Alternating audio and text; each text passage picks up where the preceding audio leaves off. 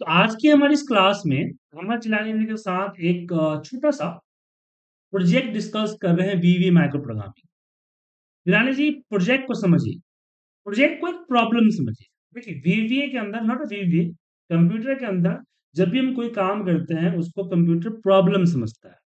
इसलिए जब आप B C M C join करेंगे, सबसे पहला प्रोग्रामिंग लैंग्वेज सी उसमें बनाया जाता है programming problem solving method with C C programming language नहीं कहा जाता है। तो प्रॉब्लम क्या है, समझिए कि मेरे पास एक सॉफ्टवेयर है, जहाँ से मैं डेटा डाउनलोड करता हूँ डेली बेसिस पे। पर एक छोटी सी प्रॉब्लम है कि मेरा सॉफ्टवेयर डेटा डाउनलोड नहीं करता है और डेटा एडिट करता है। मतलब कि वो एक्सेल फ़ाइल को नहीं बनाता है। हम ये बता देते हैं कि फलाने जगह पे एक्सेल फ़ाइल है तो उस एक्सेल फ़ाइल को ओपन करके उसके अंदर डेटा डाल देता है। नॉर्मली नहीं जैसे नॉर्मली हम क्लिक करते हैं फ़ाइल डाउनलोड हो जाती है, उस तरह से फ़ाइल बना के डाउनलोड नहीं करता है। हमें उसको ब्राउज करके एक फ़ाइल का लोकेशन देना होता है देन उस फ़ाइल में वो वीडियो उस फ़ाइल को डाउनलोड कर देता है। उसमें डेटा डाल देता है। अब मेरी प्रॉब्लम ये है कि मुझे हर दिन एक फ़ाइल बनाना होता है, और फ़ाइल को एक फोल्डर से सिस्टमेटिक फोल्डर के ढंग में अरेंज करना होता है। जैसे कि ई ड्राइव के अंदर 2023 का फोल्डर बनाना होता है। 2023 के अंदर आज महीना चल रहा है बारह तो इसके अंदर न्यू करके हम एक बारह नाम का फोल्डर या दिसंबर नाम का फोल्डर बनाएँगे। फिर इसके अंदर आज तारीख है दो तो इसके अंदर एक और फोल्डर बनाएँगे, दो नाम के।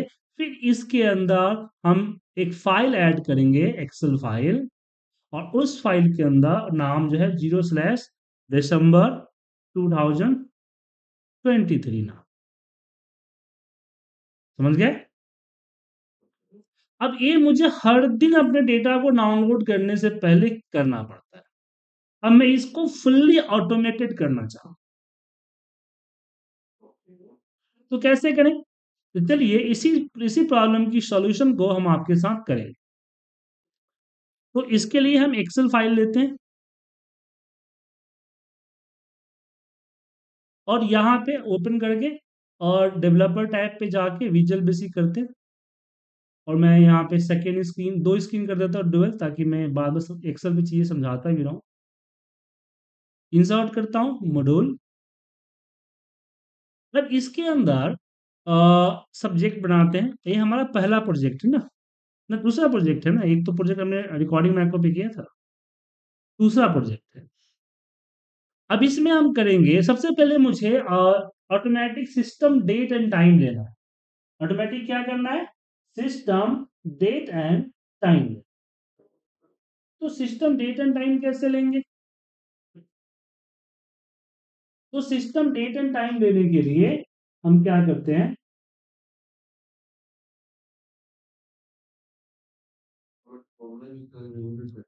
नहीं नहीं। एक्सेल में कैसे करेंगे? चलिए एक्सेल बताते हैं एक्सेल में फॉर्मूला होता है टुडे तो टुडे क्या करता है? करेंट सिस्टम डेट देता है। ठीक है? तो एक्सेल में ये चीज़ होता है डेट अगर हम यहाँ पे एम एस जी बॉक्स के अंदर अगर हम डेट डालते हैं तो आप देखेंगे कि यहाँ पे सिस्टम डेट आपको देगा। अब इसी में अगर हम ईयर का फॉर्मूला लगाएँ तो ईयर आता है मंथ का फॉर्मा लगाएँ तो मंथ आता है और डे का फॉर्मा लगाएँ तो डे आता है। ठीक है? तो अब यहाँ पे सेम चीज़ करेंगे कि हम ईयर के अंदर डेट रख देंगे। अब यहाँ पे क्वेश्चन आता है कि ईयर क्या है? एक फ़ंक्शन है। ठीक है? फ़ंक्शन एक रिज़ल्ट रिटर्न करेगा बट वो रिज़ल्ट स्टोर कहाँ होगा? समझे? हम फॉर्मूला भी लगाते हैं एक्सेल पे तो किसी न किसी सेल पे लगाते हैं ना। हम बोले कि भाई, किसी सेल पे फॉर्मूला नहीं लगाना है तो ज़ाहिर सी बात है फॉर्मूला परफॉर्म करके रिज़ल्ट कहाँ स्टोर करेगा?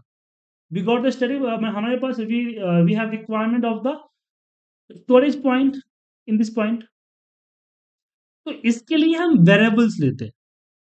Okay variables that is why हम ले लिए। अब वाई क्या है?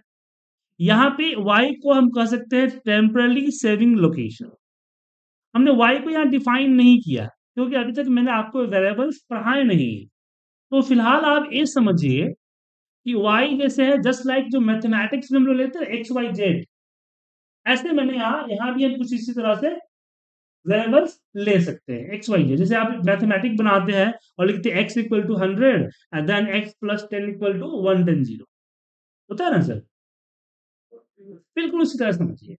तो अब जहाँ जहाँ मुझे ईयर की ज़रूरत पड़ेगी ना, वहाँ वहाँ मोबाइल लेंगे सिंपल सा। ऐसे एम इक्वल टू हमने यहाँ पे कर दिया मंथ मंथ के अंदर हमारे पास डेट अब मंथ जो है क्या कर रहा है? नंबर दे रहा है। क्या दे रहा है? नंबर में। लेकिन मुझे दिसंबर चाहिए मतलब कि शॉर्ट सॉरी टेक्स्ट में चाहिए।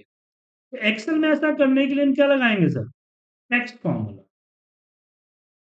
इन्वर्टर कोमाला मेथड लगा के तीन बार डी तीन बार एम एम करेंगे। एम एम एम एम तब जाके दिसंबर आएगा। चार बार करेंगे तो पूरा दिसंबर आएगा। बट प्रॉब्लम यह है कि हम टैक्स फॉर्मूला यहाँ नहीं लगा सकते। तो यहाँ जैसे टैक्स लगाइएगा आप, देखिए टैक्स सपोर्ट नहीं करता है।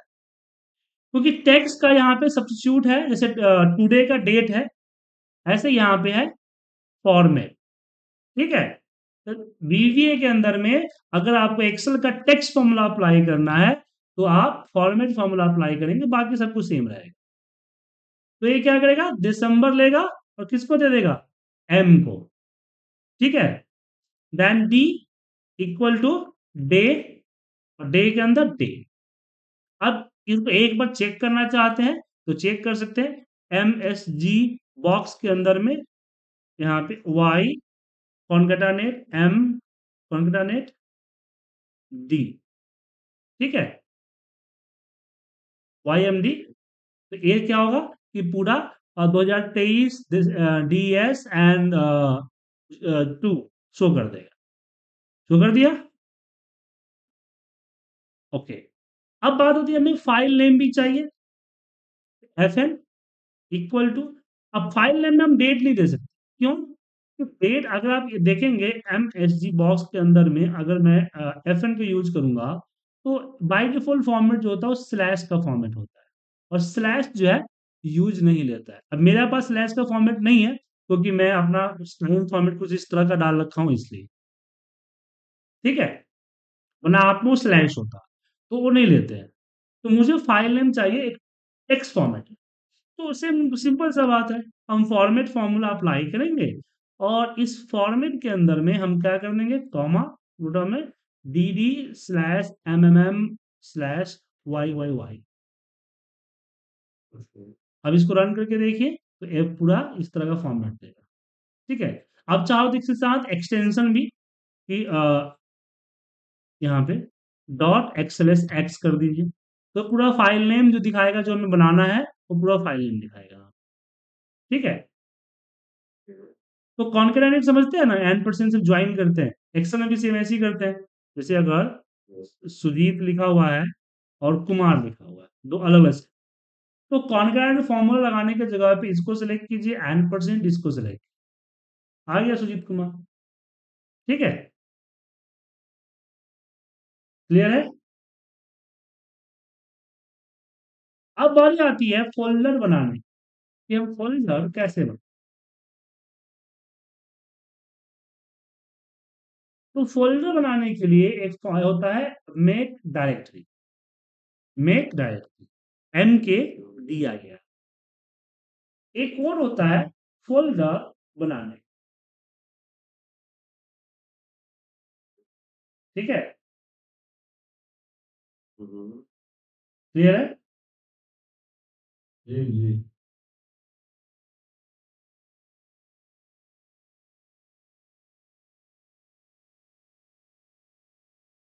अब इसके आगे मुझे अपना फोल्डर का पाथ कि मुझे ई e ड्राइव के अंदर स्लैश 2023 का फोल्डर था।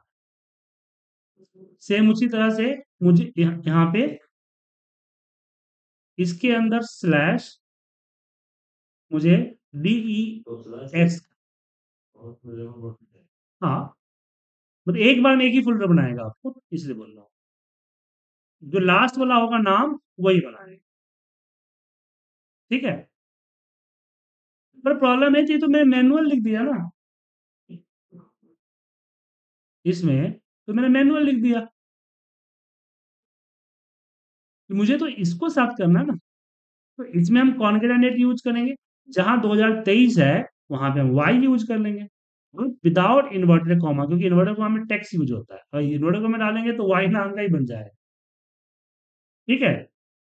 सेम उसी तरह से एन परसेंट वाई के अंदर स्लैश एन परसेंट यहाँ पे रखेंगे एम ठीक है? यहाँ पे N percent Y N percent slash N percent M N percent slash slash देना ज़रूरी है, क्योंकि पाथ के फॉर्मेट में चाहिए ना मैं तो ये तीन फोल्डर बना ठीक है? अब जो फोल्डर बना है, उसके अंदर फ़ाइल बनाना है और सेव करना है।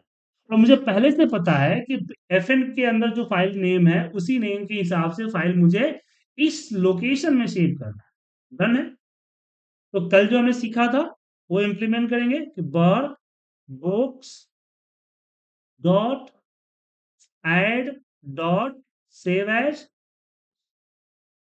sorry dot save as और इस दे देंगे।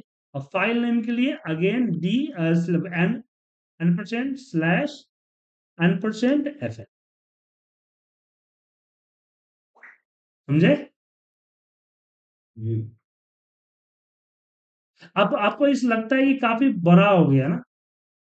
तो आप एक काम कर सकते हैं पी यहाँ पे इसको कॉपी कर लीजिए।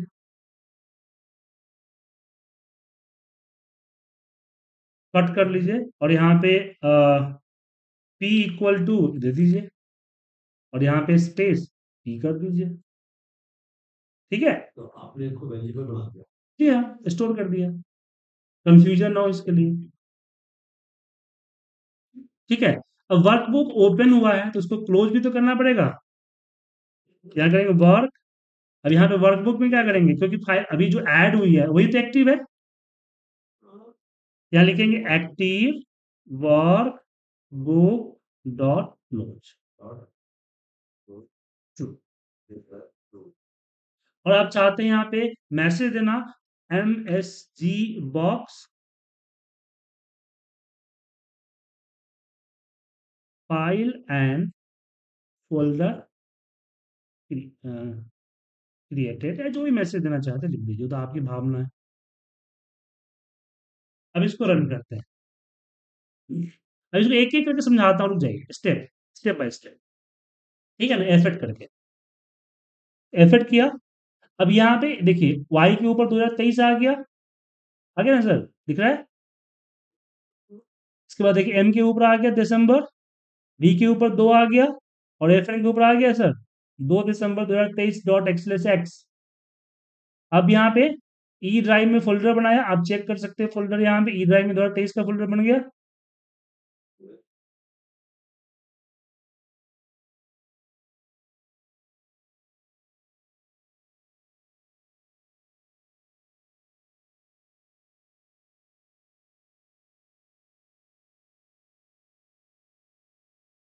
उसके बाद यहाँ पे क्लिक किया एफर्ट किया। आप देखेंगे कि 2023 के अंदर दिसंबर नाम का फोल्डर बन गया। फिर इसमें किया, आप देखिए पी के ऊपर पूरा पाथ आ गया। वर्कबुक ऐड हुआ और सेव हो गया। देख सकते हैं यहाँ पे। आ गया सेव हो गया ना सर देन क्लोज देखिए फ़ाइल क्लोज भी हो गई। एंड मैसेज आ गया फ़ाइल फोल्डर क्रिएटेड यहाँ जाके देख सकते हैं कि दिसंबर के अंदर, दो के अंदर फ़ाइल क्लियर क्रिएटेड है। ठीक है? अब यहाँ पे क्वेश्चन आता है कि इसको क्या करना हो? अब मुझे जब भी अपना फ़ाइल डाउनलोड करना होगा तो सबसे पहले इस माइक्रो को रन करना होगा। रन करने के कई तरीके बताए थे कि आप बटन पे इंस्टॉल कर बटन पे बटन के ऊपर असाइन कर लीजिए या फिर आप माइक्रो में जाके भी रन कर सकते हैं शॉर्टकट कर सकते हैं। ये यूज़ कर सकते हैं बट आपको रन करना पड़ेगा। ठीक है ना?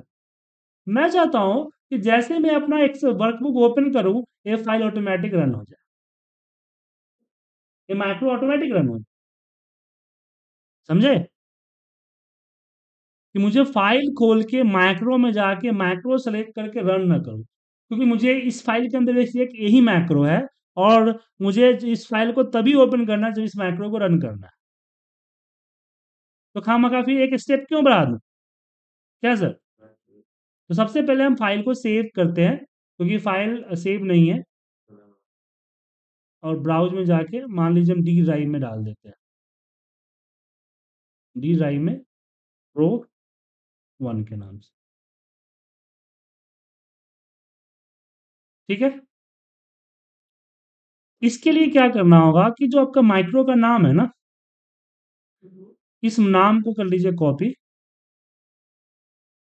और इसको आप चले जाइए दिस वर्कबुक दिख रहा है? इस पर डबल क्लिक कीजिए। इस तरह से ब्लैंक दिखेगा। यहाँ पे वर्कबुक सेलेक्ट कीजिएगा। तो बाय डिफ़ॉल्ट यहाँ पे ओपन आ जाएगा। अदरवाइज़ चेंज कर भी सकते हैं ओपन आ जाएगा। अब उस माइक्रो नेम यहाँ पे सिर्फ़ डाल ठीक है? अब यहाँ पे एक छोटी सी प्रॉब्लम है कि जैसे दोबारा इस माइक्रो को रन करूँगा रन हो गया। जैसे दोबारा इस माइक्रो रन करूँगा, यहाँ पे एरर है। क्यों एरर आया? क्योंकि ई ड्राइव में वो 2023 का फोल्डर बना ही नहीं पाया। तो एक नाम के दो फोल्डर होते हैं। हमने यहाँ पे कोड में कुछ ऐसा तो नहीं दिया है कि पहले वाला फोल्डर हो तो इग्नोर कर दे या डिलीट कर दे, ऐसा कुछ तो नहीं दिया इसमें। और ये तो गधा प्रसाद है, जो बोलेंगे वही करेगा। तो क्या करें इसके लिए?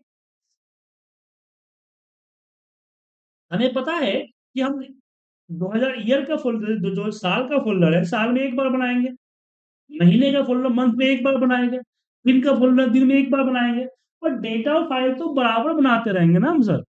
तो डेली का काम है मेरा? तो यहाँ पे एक कोड ऐड करेंगे। वो तो है ऑन एरर रिज्यूम नेक्स्ट ठीक है?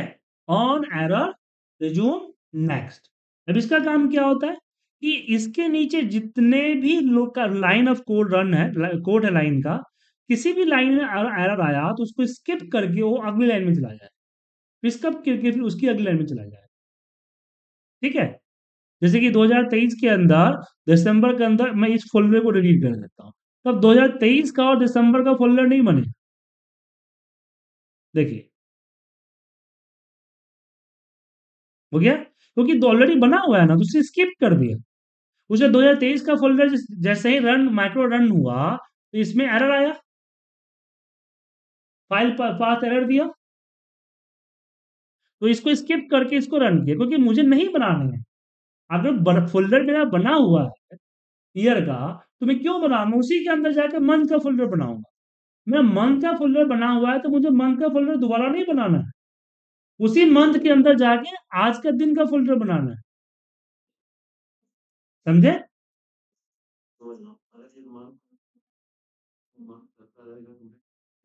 हम्म।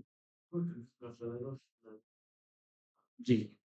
जैसे ये जनवरी आएगा, जैसे जनवरी आएगा ईयर 2023 की जगह पे 24 हो जाएगा। तो एक कोड चल जाएगा। समझ गया तो ये कोड परफेक्टली हो गया। अब प्रॉब्लम ये है कि अब इसको रन करते हैं कि मेरा फ़ाइल ओपन होते हुए ही कोड रन होता है कि नहीं ओपन करने के सिंपल माइक्रो नेम को दिस वर्कबुक के ओपन वाले इवेंट में डाल दिया। अब मुझे क्या करना है कि इस फ़ाइल को जस्ट ओपन करना है। देखिए इसको सेव करके क्लोज कर देता हूँ और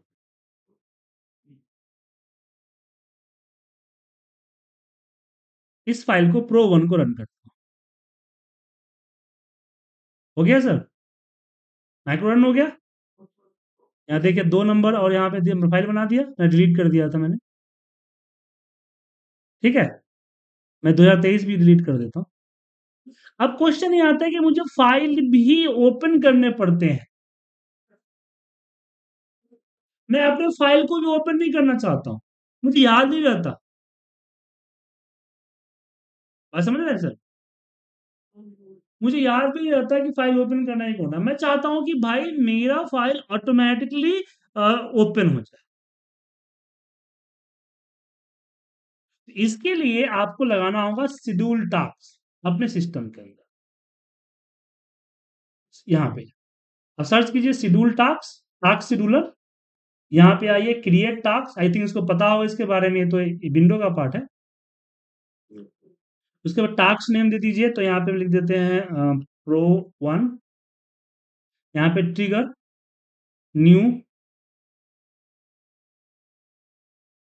ऑन शेड्यूल है टाइम दे दीजिए। वन टाइम करना है डेली करना है वीकली करना है मंथली करना है बट यहाँ अनेबल ज़रूर कीजिएगा, नहीं तो नहीं चलेगा आपका।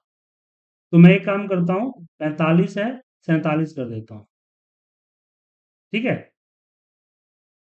देन ओके उसके बाद हम यहाँ पे टिकर के बाद एक्शन एक्शन में क्या करना है? तो हमने बोला स्टार्ट प्रोग्राम और अपना फ़ाइल चूज़ कर लेते हैं। जो भी डी ड्राइव में फ़ाइल मैंने बनाया है ना सर? हाँ प्रोग्राम सिलेक्ट कर लिया। देन ओके देन ओके ठीक है, और इसको क्लोज कर दीजिए। अब जैसे ही सैतालीस, छियालीस में सैतालीस होगा, ऐसे ही आपका माइक्रो रन हो जाएगा। अपना माइक्रो रन हो जाएगा। फ़ाइल ओपन हो जाएगी। तो क्या हुआ कि हम बाय डिफ़ॉल्ट शेड्यूलर के ज़रिए हम अपना प्रोग्राम रन नहीं कर सकते। तो हमने क्या किया कि एक एक माइक्रो ऐसा बनाया जो फुल्ली ऑटोमेटेड इसमें मुझे कुछ नहीं करना पड़ेगा। सारा काम ऑटोमेटिक हो जाएगा। तो क्या हुआ कि हमारा जो प्रोग्राम है, हमने उसको बनाया। जो भी कंटेंट है, वो हमने प्रोग्राम इसके अंदर कोड किए। कोड करने के बाद हमने क्या किए? उसको इवेंट माइक्रो में डाल दिया। कि जब मेरा फ़ाइल ओपन होगा तो ये ऑटोमेटिकली रन हो जाएगा। मैं रन करने की ज़रूरत नहीं है ऑटोमेटिकली रन हो जाएगा। अब यहाँ पे क्वेश्चन आता है कि अब मैं फ़ाइल भी ओपन क्यों करूँ? मैं चाहता हूँ मेरा फ़ाइल भी खुद ब खुद ओपन हो जाए। ठीक है? तो हमने टास्क शेड्यूलर में उस फ़ाइल की पाथ दे दी। एक पर्टिकुलर टाइम पे फ़ाइल ओपन हो जाए। अब उसी फ़ाइल के अंदर हम कोड कर देंगे लास्ट में कि एक्टिव डॉट क्लोज एक बार और एक्टिव डॉट क्लोज कर देंगे, जो हमारी माइक्रो वाली फ़ाइल है, वो भी बंद हो जाएगी। तो सामने वाले बंदे को पता ही नहीं चलेगा कि कब मेरा प्रोग्राम ट्रिगर कर गया। समझे? देखिए ओपन हो गया अपने आप। मैं नहीं कुछ कर रहा हूँ, सर। अपने आप ओपन हो रहा है। सैतालीस में बस के कुछ सेकेंड पे चालू हुआ है, और अपने आप रन हो गया ठीक है? ये हैंग हो गया कारण से तो मेरे सिस्टम के कारण से हैंग हुआ। अच्छा दो हज़ार तेईस का फोल्डर बन गया, दिसंबर का बन गया, दोनों बन गया फ़ाइल फ़ाइल बनाने में से हैंग हो गया। नोट एक्सल हैंग हो गया, सर, कोई दिक्कत नहीं। हो जाएगा। ठीक है? अब इसी की मदद से हमने अपने ऑफ़िस में सारे रिपोर्ट ऑटोमेट किए मैं अपने जब फेयर पोर्टल में काम करता था तो दो से ढाई सौ रिपोर्ट बनाती थी पर डे। और अब सामने वाला बंदा बोलता अब होता क्या था कि मेरे पास कोई छह तरह का डेटा आते थे। छह तरह से हमें बॉस जब जब जब कुछ ना कुछ फाइलें माँगता रहता था कि ये कर दो वो कर दो ठीक है ना? तो हमने क्या किए कि उस डेटा के ऊपर जो भी पॉसिबिलिटीज थी कि इतने तरह के इतने तरह की चीज़ें हो सकती है वो सारे पॉसिबिलिटीज से रिपोर्ट्स बना दी उसका रिपोर्ट का एक एलोकेशन कर दिया ठीक है ना? और एलोकेशन करने के बाद हमने उसको दे दिया। ठीक है? हमने बोला कि आप बॉस आपको जो भी रिपोर्ट चाहिए यहाँ से आप कर लीजिए।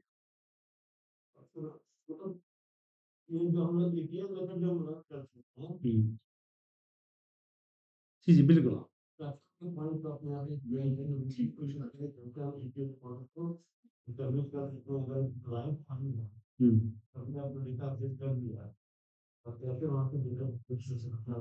उस ऑटोमेटिक मेला हो सकता है सब कोई दिक्कत नहीं है। कुछ ना कुछ सोल्यूशन हो जाए। हाँ डिवाइस ऑफ़ रहेगा थोड़ी ऑन हो जाएगा। नहीं डिवाइस ऑन होना चाहिए। वो तो बात आप अपना सर्व देखिए अपना सर्वर ही बंद कर दीजिएगा तो फिर आपका कुछ भी काम करेगा वेबसाइट भी काम नहीं करेगा। ठीक है।